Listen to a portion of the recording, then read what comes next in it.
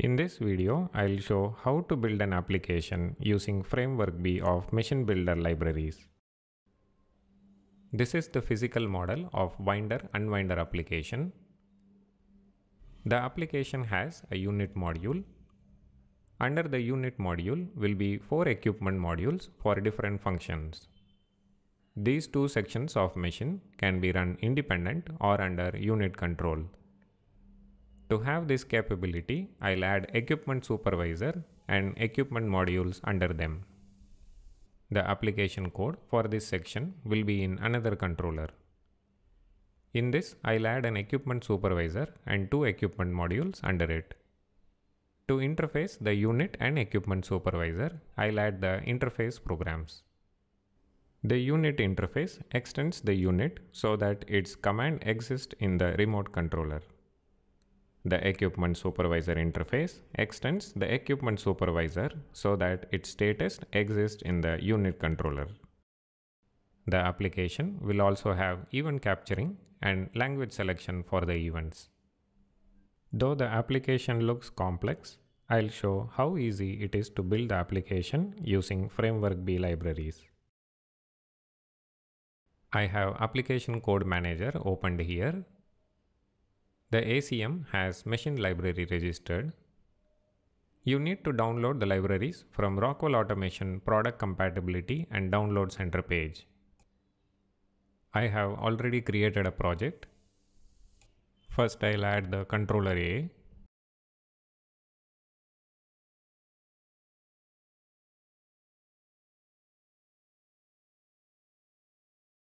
Add the shortcut name for HMI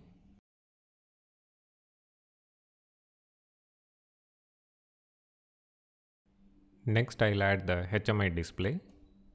To add, right click on the display and click add. Select the framework B display ME. Click next. Select the display template as per FTView version you are using. Click finish. Now we have controller and display added. Next I'll add the unit module. To add, right click on the task and click add new. Select the unit module library object and click next. I'll name the instance as UN01 unit. Select true if you want pack tags to be created. To have the equipment indicator code added, select true to this parameter. I'll select true the equipment indicator code can be instantiated in ladder or in functional block. I will leave it as ladder diagram. Since this is a multi-controller project, I'll select yes for multi-controller. Since we need the event queue, I'll select yes to this parameter. Select yes for language switching. This is the display resolution for FTView ME application. Since the display is already added in the project, the ME associated display is already linked. Click next. In link library, this is the asset library for state model instruction. Create a new instance. Click finish. This is the asset library for tower lamp instruction. Create new. This is the asset library for event create instruction. This is the link library for event queue. Click create new. I will name the event queue program as UN01 events. Select the task where the program will be placed. This is the event queue size. I will modify as 50. This parameter means the HMI faceplate will display the last 14 events. I will modify as 20. Select the faceplate type. I will select as full display. Select the display where the navigation object will be placed. Click next. Click auto create to create the link libraries. Click finish. Next is to add the language pack program. Click create new. These are the languages that can be added in the language pack. Select yes for the languages to be added. Click next. Link the event queue with the language pack. Since the event queue is already created, I will select link to existing instance. Select UN01 events. Click finish. Click finish. Now we have added all the link libraries in the unit module. Click finish to complete the instantiation of unit module. Next I'll add the equipment module. To add, right click on the task and select add new. Select the equipment module library object and click next. Enter the equipment module name.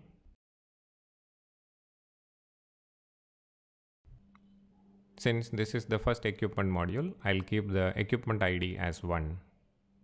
This parameter is to include the simulation code the simulation code is to simulate the state changes. These are the parameters to include the state routines for clear, initialize, run and terminate. I will leave it as true. Click next. Link the equipment module to the unit module. Since unit is already added, I will select link to existing instance. Click finish. Click Finish to complete the instantiation of equipment module. Now I have added the equipment module for line control. I will follow the similar steps to add the rest of the three equipment modules.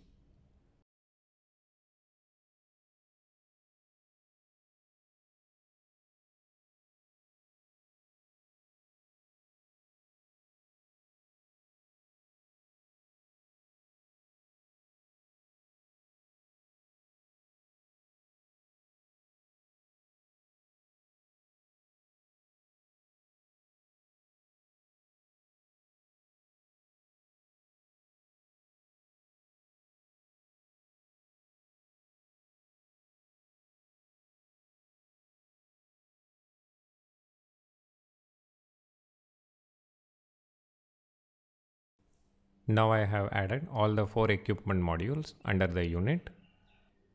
As you can see, each of the equipment module has its own unique equipment ID.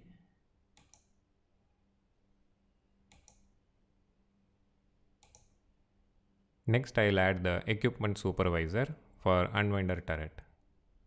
To add, right click on the task and click add new. Select the equipment supervisor library object.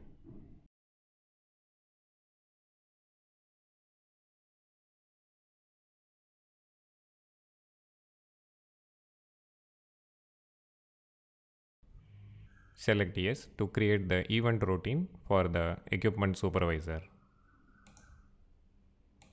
Since we are already using language switching in the unit events, I'll select yes for this also. Select the display where the navigation object for equipment supervisor faceplate will be placed.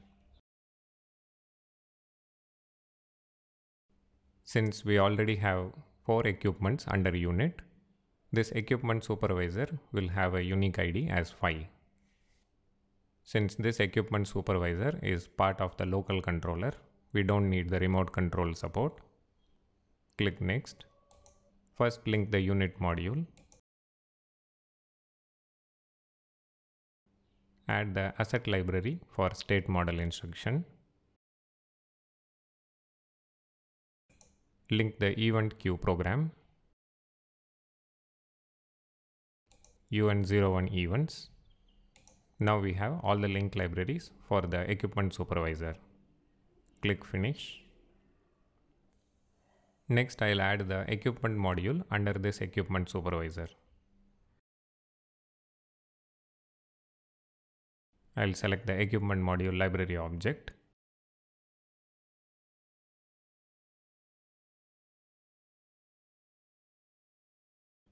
Since this is the first equipment under the equipment supervisor, I'll leave the equipment ID as 1.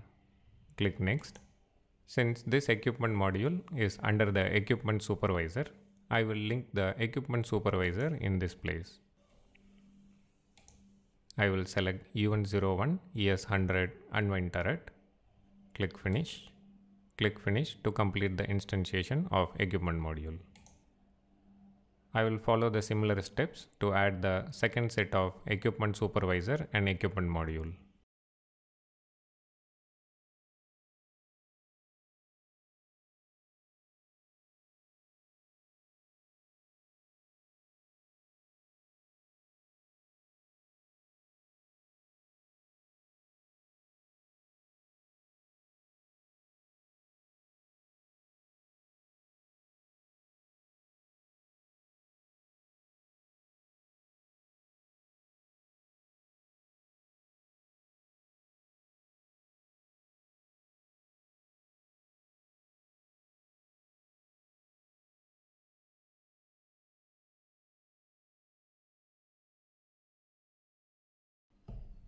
Now I have added the second set of equipment supervisor and equipment module. Next I'll add the interface program for the remote equipment supervisor.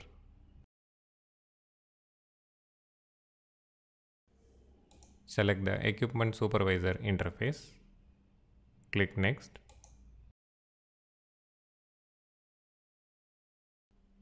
Enter the controller name where the remote equipment supervisor will be placed.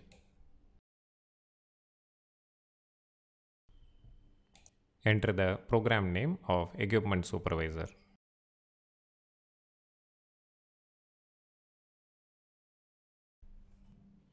The second controller name and program name can be browsed from the project browser if they are already part of the project. Since we have not yet added the second controller or equipment supervisor, we can just enter the name. Click next. Select the unit module Click finish to complete the instantiation. Now we have the interface program for the remote equipment supervisor. The next part is to add second controller and add the equipment supervisor and equipment module in it. Since this is a licensed version of ACM, I can add the second controller in the same project. In unlicensed version, you can create a new project for second controller and add the equipment supervisor and equipment module in it. For ease of understanding, first I'll demonstrate adding the controller in the same project, but I'll also show you how equipment supervisor will look when added in a separate project. First is to add the second controller.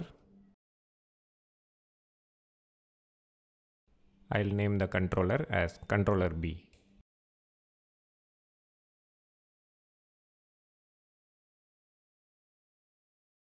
click finish. Now we have the second controller. The first step is to add the unit interface. Select the unit module interface library object.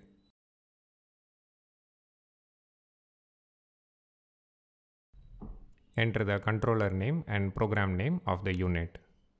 Since the unit controller and unit program are part of the same project, I will show you how to browse the same. Select controller A. Browse the program name for unit.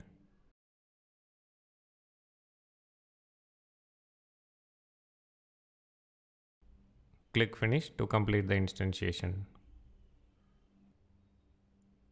Next I'll add the equipment supervisor.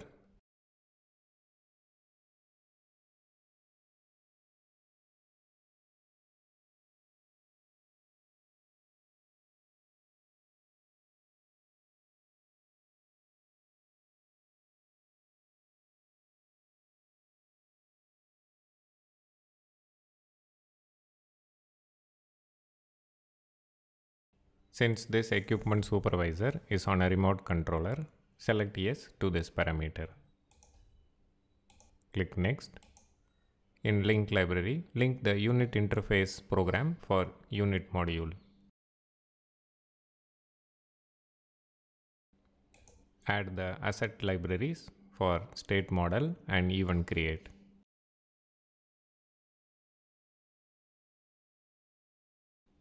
Since the equipment supervisor is in a separate controller, the event queue and language pack has to be created for this controller.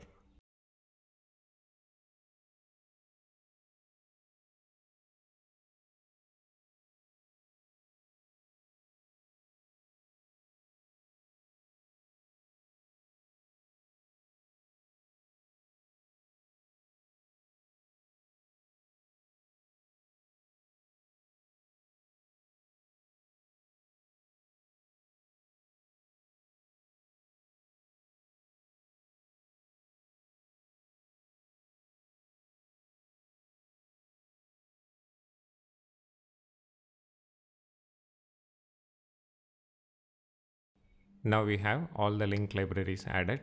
Click finish to complete the instantiation. Now we have the equipment supervisor added. Next I'll add the equipment module.